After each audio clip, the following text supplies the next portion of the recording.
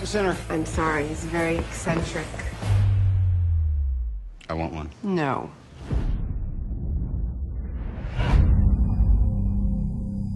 If you can make God bleed, people will cease to believe in him.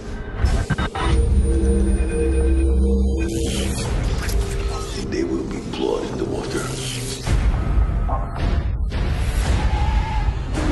And the sharks will come.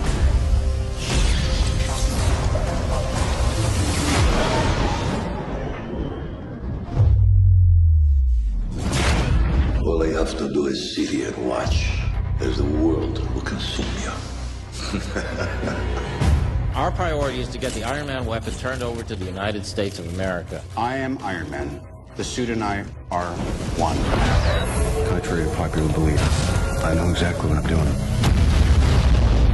What? What I saw you do to Tony Stark on that track, wow. You need my resources. I want to make Iron Man look like an antique. This whole lone gunslinger act's unnecessary. You don't have to do this alone.